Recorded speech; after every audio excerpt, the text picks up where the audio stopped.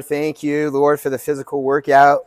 Got to work out with friends, hanging out, and being able to move our bodies, Lord. What a blessing to be able to have the opportunity to move. And so, Lord, we just pray as we get into your word that you continue to um, share with us those things that uh, you're pressing upon our hearts and those things to uh, put into action, Lord, whatever that may be. In Jesus' name, amen.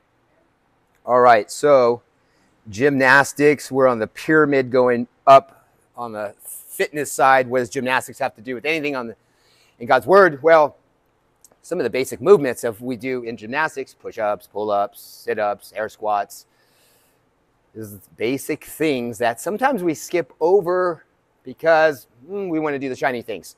We want to back squat. We want to press. We want to do these things. Maybe we see on YouTube or see other people doing that or getting stronger. But to build a foundation, we need to have this basic piece of body weight, which is weighted and making sure we are moving through in good form. And so you can always rely on basics in life, right, Destiny? The basics in life create us not getting straight away by people giving us false things out there physically, uh, more importantly, spiritually, right? Right now, uh, nothing new under the sun where we see that there's a lot of false things going on. Churches, people were being deceived, government, our country. We thought it would just be all these other countries that are uh, being deceived. And we are the free country, not us. No way we will be deceived. We're free in God we trust and everything. We take it for granted. And now, where are we at right now? God's hand slowly being lifted, you know, because we're not following the, the Lord from the top down. And so we see our country, but then we see households from the top down. And then you see inside whoever is following you from the top down. God is instructing us, giving us stewardship over people, over th- those ministries in our lives. And we all have a ministry, what God is instructing us to do. And so I, I love gymnastic, the piece on the fitness side, because it it so relates to our spiritual walk, you know, and, and it sounds like a broken record, like, yeah, we know these things, yeah. But it's it's always better to sometimes, well, I think a lot of times to be reminded than to be taught new things. God just reminds us and reminds us and reminds us and reminds us. No different than the Israelites being reminded, reminded, reminded. 40 years in the wilderness hanging out. And hey, you could have got there in 12 miles, but here you go.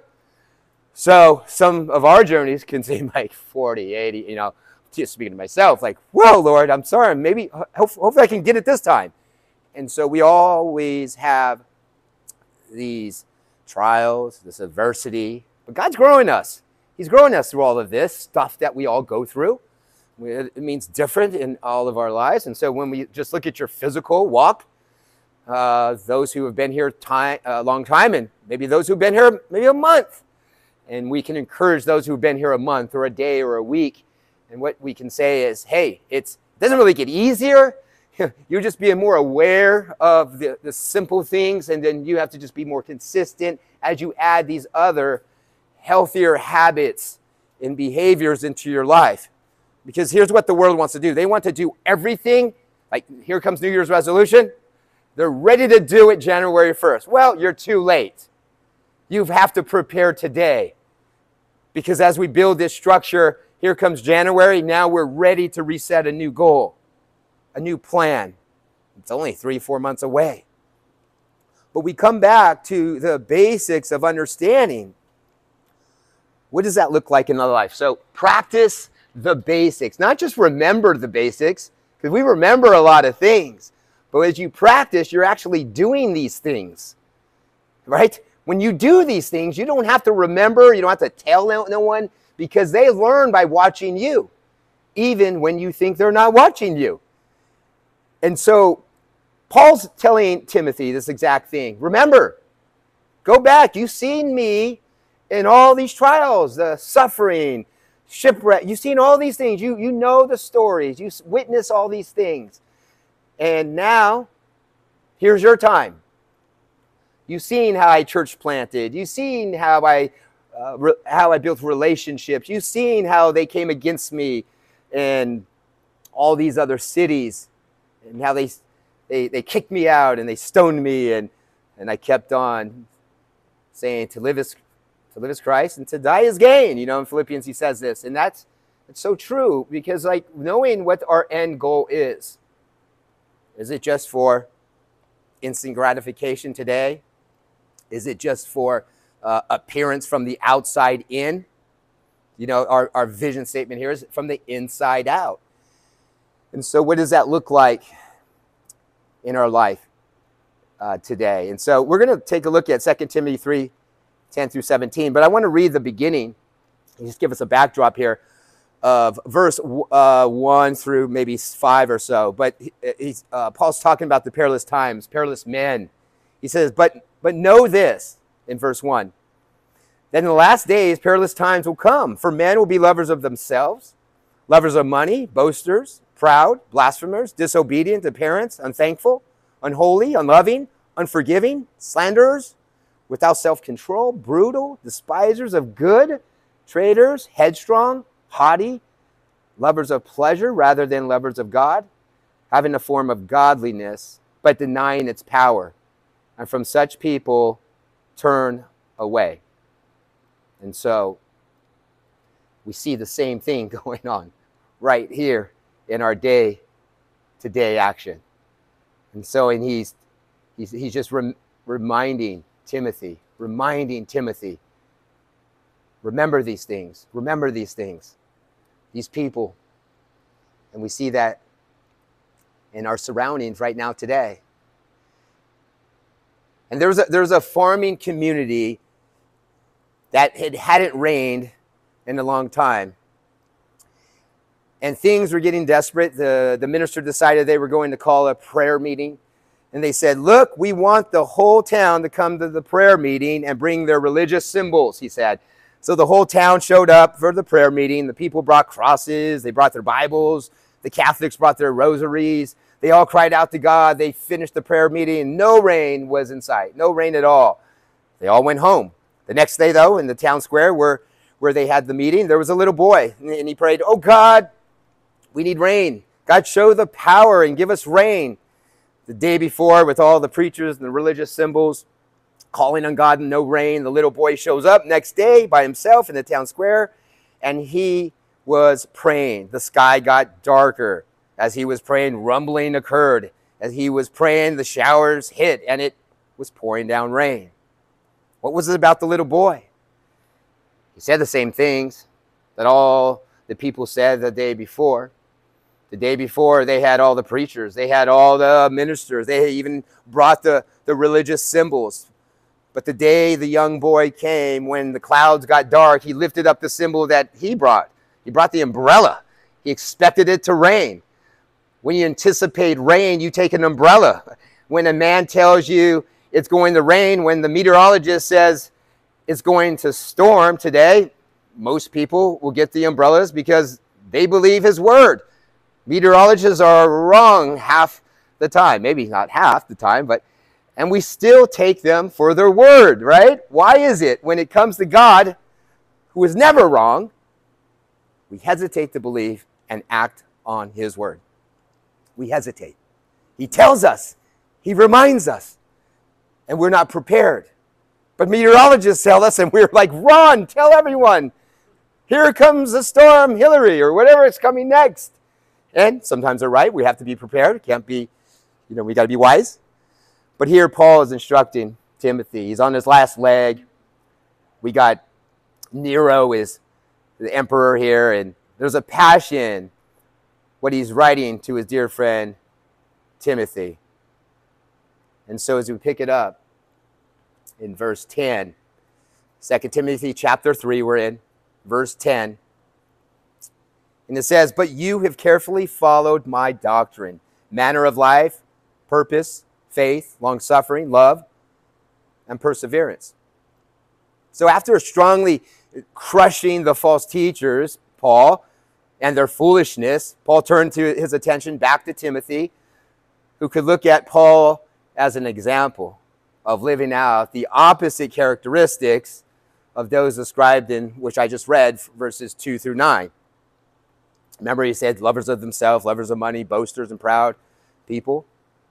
Paul's now saying, Timothy, you've carefully followed me and watched me in these areas. He followed close by his side. He's seen the long suffering, the patience that Paul had. When God has given you a purpose, a vision, we're not to quit. We're to persevere, knowing that there will be trials. There will be things that will come our way.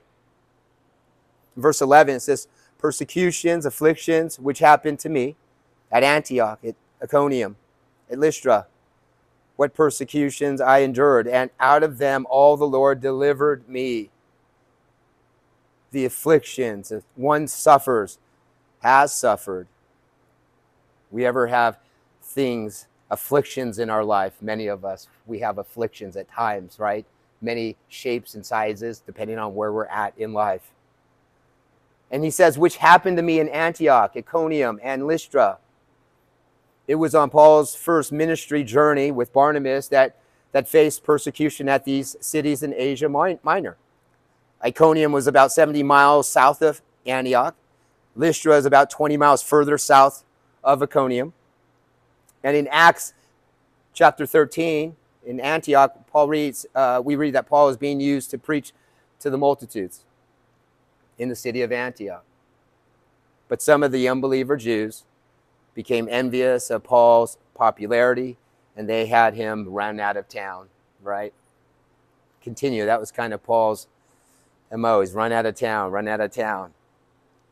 In Iconium, Acts chapter 14, we read Paul moving south to Iconium and where Paul was again threatened by unbelieving Jews. They threatened to stone him and then he left the town. And then in Lystra, Acts chapter 14, we read in verse 19, it says, Then the Jews from Antioch and Iconium came there, and having persuaded the multitudes, they stoned Paul, dragged him out of the city, supposing him to be dead. However, when the disciples gathered around him, he rose up and went into the city. And the next day he departed with Barnabas to Derbe. This was Paul, this was uh, Timothy's hometown. But Timothy was just a kid at the time. He wasn't yet acquainted with Paul. We see that this was the first time that Timothy and his family became kind of exposed to Paul. But it won't be until chapter uh, verse six, I mean, sorry, chapter 16 of Acts that Paul meets young Timothy in Lystra on the second missionary journey with Silas. And then Timothy would join Paul becoming his disciple. But, but it seems that Paul's example to Timothy may have started back in Acts 16. And the end of verse 11 says, What persecutions I endured, and out of them all the Lord delivered me. It is a blessing to endure those heavy loads that are placed on our shoulders and watching the Lord holding us up to the finish line. Like He holds us up. Those things, those heavy things that are pressed upon us in life. When have you seen the Lord hold you up through a difficult season? We could probably just, there's many times in our life, in our stories, our testimony, we can see. And we may be aware, you may be aware that the others are watching your life. We usually hope that they will see all the good things happening to us and watching us being blessed by God.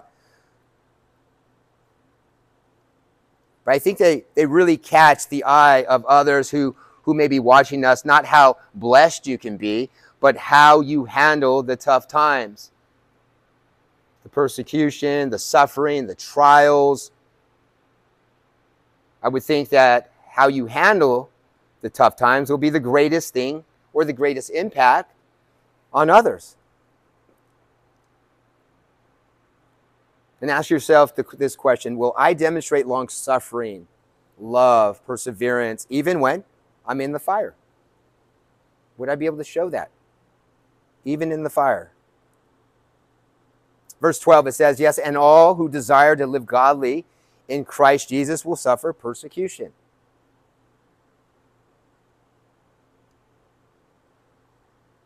We have this idea that if if we want to live in a way that pleases God, that life ought to be better and easier.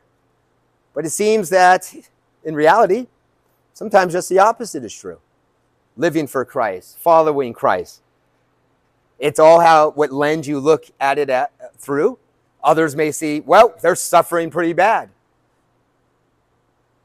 But if God is for you, who could be against you? If He's instructing you to do something and it may seem like it's not working out on the outside, but you're being obedient to what God is calling you to do, it's not suffering at all. You're continuing to do what He instructs us to do.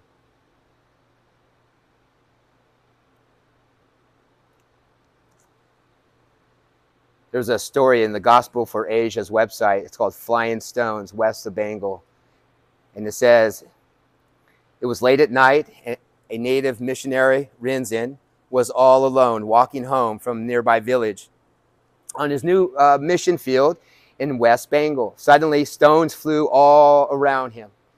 He desperately ran for cover, not sure from what direction the attack came. Shaken up but un- unharmed, he reached his small rented room on the outskirts of the tea plantation.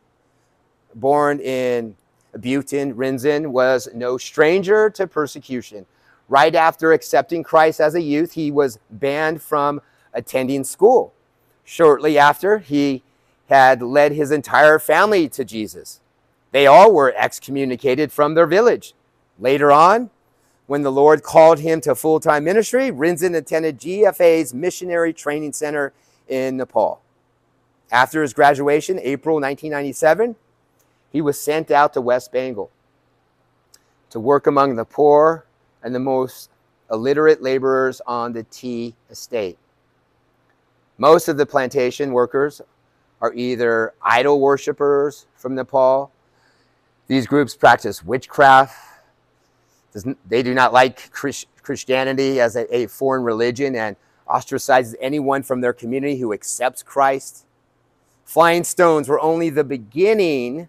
Rinzin had to endure countless trials, opposition, threats, beatings, but he never considered leaving his mission field. Instead, he prayed a great deal and entrusted the Lord who called him. God began to open doors for him. A man suffering from tuberculosis, tuberculosis was instantly healed when Rinzin prayed over him. Others were likewise freed from demon possession or healed from sickness. When he called upon the mighty name of Jesus on their behalf, people began to come to Jesus.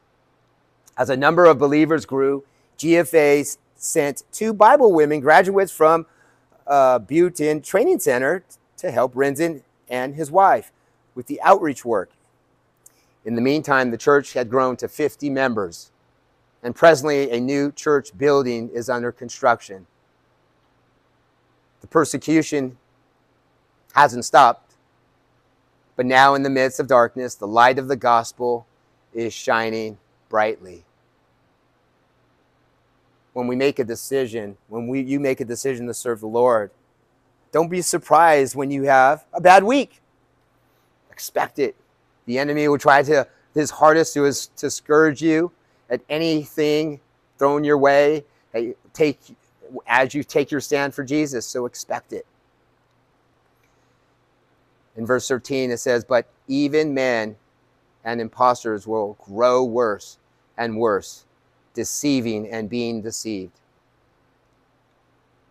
Don't be discouraged when you see evil people prospering. We see it right now.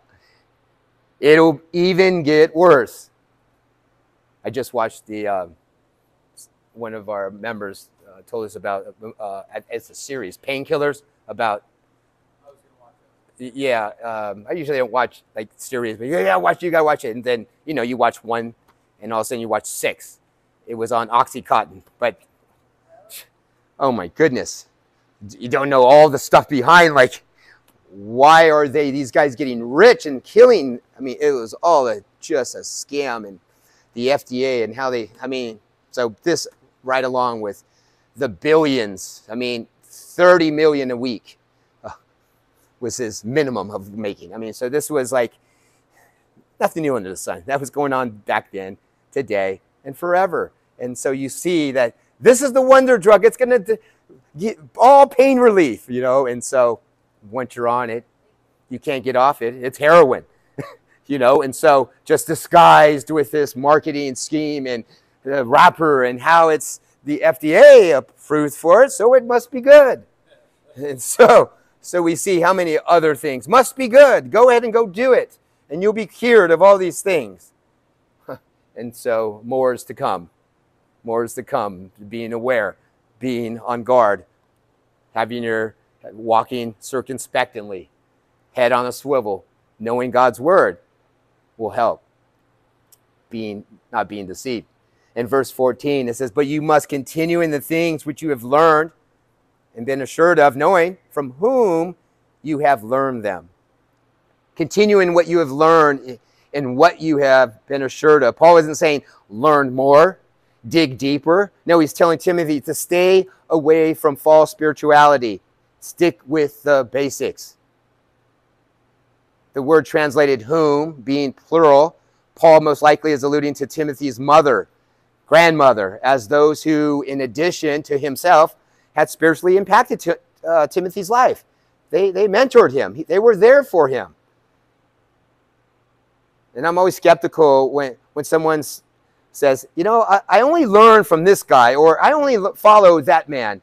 You know, wise is the man or woman who will learn from many people the Lord places in their lives or reinforces, reinforces or strengthens their faith, right? We have many people that, that pour into us or we may pour into others, right? But being wise, knowing God's word, lining it up with scripture, what's Paul saying? Don't be deceived. God will give you insight. We don't need to know every single word in every single book, but it's amazing when we we get into his word, it just starts illuminating uh, and, and all of a sudden the person who needed that counsel, it was in that scripture you read that morning.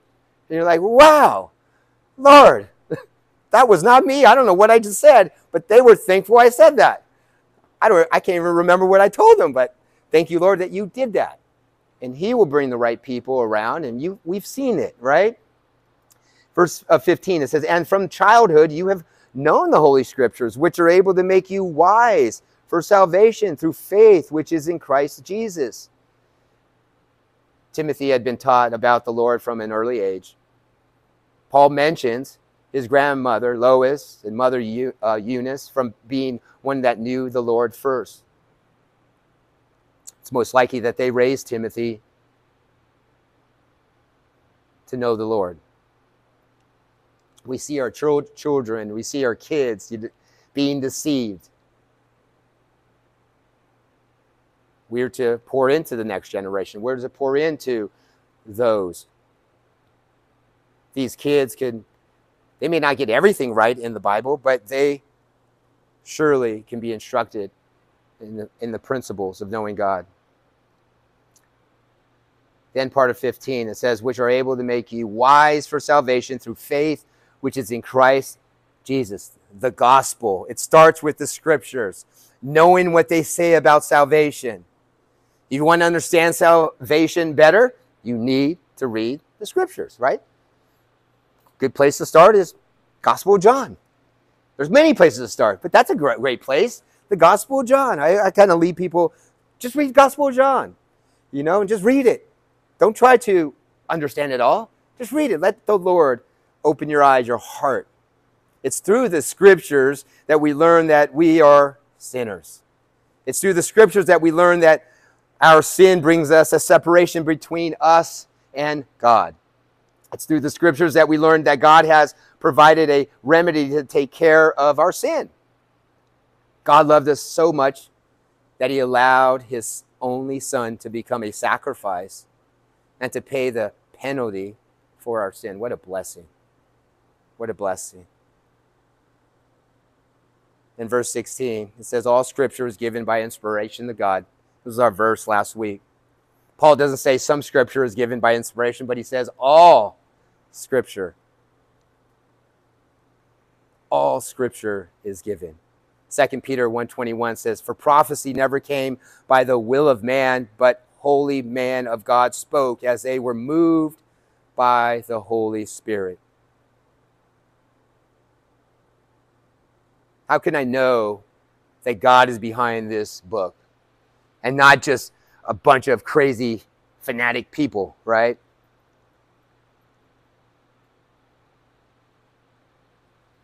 One of the greatest facts that, that attest to the scriptures as being inspired by God is that uh, the fulfilled prophecy. One of the greatest areas of fulfilled prophecy is to do with the coming of the Messiah. There are over 300 specific prophecies in the Old Testament concerning the first coming of Jesus. To name a few, number one, being born in Bethlehem, Micah 5 2. Two, preceded by a messenger, Isaiah 40, verse 3. Number three, entering Jerusalem on a donkey, Zechariah 9 9. Four, betrayed by a friend, Psalm 41 9. Five, sold for 30 pieces of silver, Zechariah 11 12. Six, money thrown in the temple buying a potter's field, Zechariah 11 13. Number seven, dumb before accusers, Isaiah 53 7. Number eight, hands and feet pierced, crucified with thieves, Psalm 22 16 and Isaiah 53 12.